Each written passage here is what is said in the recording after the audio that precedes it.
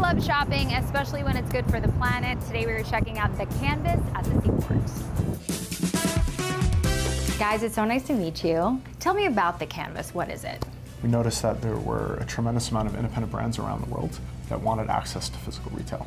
It did not have that. We see these vacant storefronts in every major city in the world. We started calling them and saying simply, you guys have a space, we have a community of independent brands around the world. We want to bring them to you, and we want to activate that space.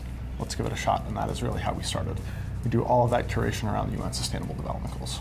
So we see a lot of apparel in the store. What other types of items do you sell? Here's some of the fragrances that we're focusing on, uh, jewelry, accessories, handbags. Like there is not really a limit uh, where we see this going. I think our approach is also, you know, we, we have so many brands, we can create different concepts. Every canvas is different and it's a different experience depending what customer is there uh, and what we see fitting in that uh, area really. So tell me about your spaces over at the Oculus. So the, the, the, Westfield World Trade Center is an unbelievable New York location. It's iconic, and we've sort of worked with Westfield to talk to them about what are the most exciting concepts that we can bring in, activate very efficiently, and really use to bring that building back to life. All right, you have so many brands. How do you curate what's going to be in the store? So the start of the curation process is the UN Sustainable Development Goals. We're really looking for brands that have a clear mission and are looking to better their community, better their world. From there, I'm looking for something interesting. Sustainable fashion can be more exciting, more unique and textured than any other fashion choice. I love it. And I love your outfit that you're wearing right now. So this is a sustainable piece that we can get in the store. So this brand is called Nari. They're actually the project of three Cambodian sisters. The brand is named after their mother who escaped from the genocide of the Khmer Rouge. The brand employs people who have been rescued from human trafficking and sexual exploitation, pays them fair wages and gives them good working conditions. So the next brand I'd like to share with you is Sapongo.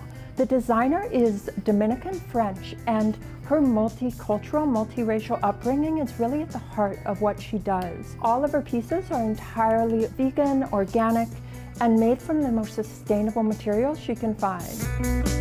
Medea is an incredible young designer from Orange, New Jersey. Each one of her pieces is crafted from an existing garment cut up and sewn back together into a unique work of fabric art that flatters the body and really just goes to show that recycling doesn't have to be boring.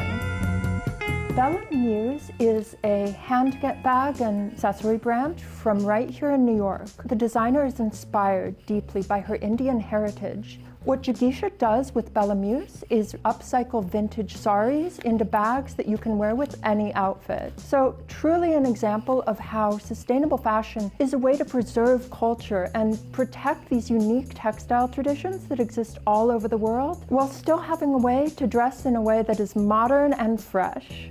Isabel, thank you so much for showing me around today. I love the store. Of course. And you know, come back anytime. We have new brands coming in every month and Come join us, play dress up.